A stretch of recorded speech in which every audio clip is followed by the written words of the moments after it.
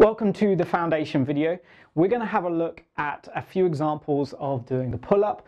We're going to try and talk about why we're trying to do it. What's the point behind it? What are we trying to accomplish?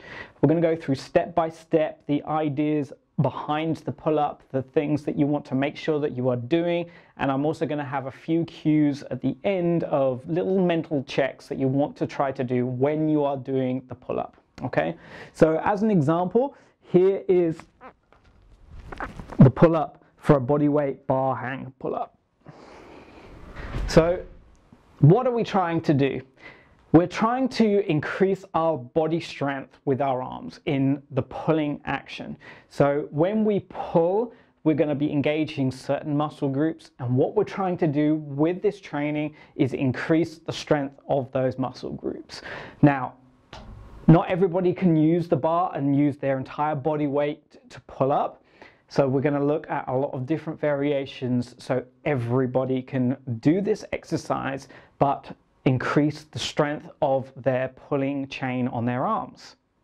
Okay, so let's have a look at the steps behind the pull-up. Now this is going to be applicable to all the steps and all the stages that you're going to see in this series and I really want you to try to focus on making sure that these these things are mentally ticked off and you do all of them, okay? So number one is when you are on the bar, at the bottom position, you want to be in what's called a dead hang. So when you're on the bar, the muscles are not engaged, okay? So this is an engaged bottom position, okay? You want to be in a dead hang position. Now the reason for this is in parkour, we are trying to be as functional as we can. And when we are doing other movements or we're trying to land on something, you are not automatically going to be in that engaged muscle position, okay? You're going to be in that position where you're just hanging on and you're absolutely at the bottom of the hang. You're in a dead hang position where the muscles are not engaged. So we want to make sure that when we do our pull-ups, we are going through that absolute bottom position for the pull-up. Okay, so the second thing is with your hands, the hand position. With this series, we are going to be looking at the hands being this way. Okay, so essentially, if you put your hands in this direction, so pointing up, and if you're doing this, this is what we call a supinated grip. And essentially, you cannot hold walls or other things like this most of the time. This and how we hold the bar is called a pronated grip. And this is the position that you want to be practicing and training when you do a pull-up. This is going to translate over to a lot of other techniques like climbing and vaulting. So getting used to having our hands in this position is going to be essential. Next up is we're going to be looking at the arms. And I keep banging on about full range of motion. And this is something that you really want to keep in mind when you are doing any movement or any functional type of moving.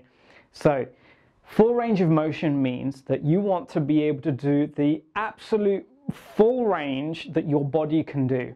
So if you're doing pull-ups from here and doing this, this is not the full range that you can do pull-up. So we're going to have a look at what is a full range of motion pull-up. Now, essentially, most uh, pull-ups are done from the bottom and they come up to the neck there, okay, and down. However, one of the issues with this is that this is not where the pull finishes. Generally, I can keep pulling, keep pulling, keep pulling, keep pulling until my arm is parallel with the ground. This is where it now changes into a pushing action. So actually, when you do a pull-up, what we're trying to aim to do is get into this position. So the bar is here. So when you're down, you want to try to get much, much higher into the pull. Next up is going to be where are you looking? So if we were to look up at the bar, so you are constantly looking up, Essentially, what happens if I come side on? If you're looking up, it gives you this weird spine position, okay? And we want to try to get rid of that. This spinal bend at the top of the neck is actually going to put us into a horrible position. So what you want to do is try to keep looking forwards. This is going to put the neck and the back and the spine in a neutral position, the, the place where it should be, okay? So when you're doing the pull-up, try to look forwards, not up. Okay, so here are a few bits and pieces that we want to think about in terms of cues. So when you are trying to do the pull-up, we've talked about full range of motion and trying to get from the absolute bottom to the absolute top. However, let's have a look at what's going to happen with our body as we do that. Now, generally, when you are pulling, you want to try to get into a what we call a dish shape. So the body is kind of arched forwards a little bit. What you don't want is this backwards bend position, okay, which is what we call a banana position, okay? So we're trying to get into this, not that, okay? So our body position has to be arching forwards. Now, to do that arch forwards, we need to engage some other muscles.